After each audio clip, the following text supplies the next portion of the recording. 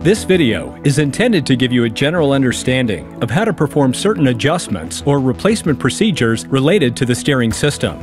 This video, like the service manuals, is intended to be used as a reference by mechanics who have been trained to repair and service steering systems used on commercial vehicles. Prior to making a repair, refer to the appropriate service manual for additional information.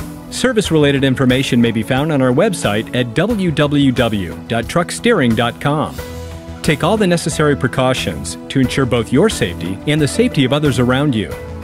If you are not sure how to perform a procedure, consult your authorized TRW technical representative. Make sure axle stops and poppets are set correctly before beginning this procedure. When using a poppet adjusting screw and nut, the slotted or Allen drive end of the screw must not go below the face of the nut. Failing to keep it flush with the face of the nut will cause the poppet seat flange to break. Do not hold the steering wheel at full turn when instructed for more than 10 seconds at a time. The heat buildup at pump relief pressure could damage system components. During the procedure, do not allow the fluid level to drop significantly or run low in the reservoir. This may introduce air into the steering system. If air is detected in the steering system, find and correct the source of the air entering the system before attempting this procedure.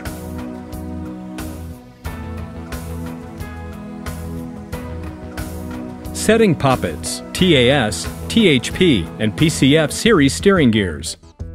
Set the parking brake on the vehicle and block the rear wheels. Raise the front end off the ground.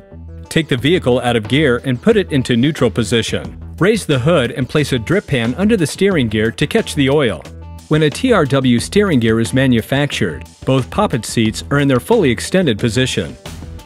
With the poppets in the fully extended position, setting poppets on a new or remanufactured genuine TRW steering gear is simple. Set the axle stops to the required position and raise the front axle so that the weight of the vehicle is off of the front steer tires.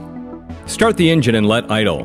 While the engine is idling, Steer the vehicle in full right and full left turns, applying approximately 40 pounds of force to the rim of the steering wheel at the end of travel in each direction. Turning the steering wheel to full ends of travel in each direction moves the rack piston in the cylinder bore of the steering gear. During this procedure, poppet sleeves on new or remanufactured, genuine TRW steering gear are pressed to the appropriate position to match the steering angle set by the axle stops. The poppet seat and sleeve are a pressed fit, so the seat will stay in this set position until it is reset. With the poppets set to match the axle stops, system pressure will not exceed required levels once the axle stop is reached, preventing steering system and vehicle damage. Resetting poppets, TAS, THP, and PCF series steering gears. Poppets on TRW steering gears do not have to be reset unless the vehicle has been modified in such a way that the wheel cut for the vehicle is decreased. If the gear has a fixed stop bolt and you are decreasing the vehicle's wheel cut, you will need a poppet adjusting screw and jam nut. If the wheel cut is being increased, the poppets will reset automatically. In this case, refer to the poppet setting procedure. The poppet setting procedure for increasing wheel cut utilizes the same procedure as setting poppets on a new or remanufactured, genuine TRW steering gear. Examples of modifications that require poppet resetting include changing to larger tires, reducing wheel cut for any reason, steer axle U-bolts were bent or broken, causing undesired increase in steering angle. The pitman arm was mistimed and was retimed axle stop bolts were damaged and have been replaced, or when a steering gear has been removed from one vehicle and mounted on a different vehicle. Poppet resetting preparation. Before resetting the poppets, you must make sure the axle stop bolts are set to the vehicle manufacturer's wheel cut or clearance specifications. Set the steer tires to straight ahead and turn the engine off. Remove the poppet fix stop bolt and washer from the lower end of the housing and discard. If the gear has a poppet adjusting screw, that must be replaced. Remove and discard. If a new poppet adjusting screw and nut are being used, turn the screw into the non-sealing end of the jam nut until the slotted or Allen end of the screw is flush with the face of the nut.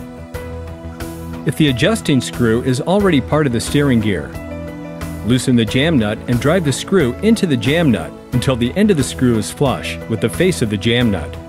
Tighten the jam nut against the housing. Refill the reservoir with recommended hydraulic fluid if necessary. Poppet resetting procedure. Start the engine and let it idle. Look at the output shaft timing marks and note which mark is closest to the housing piston bore.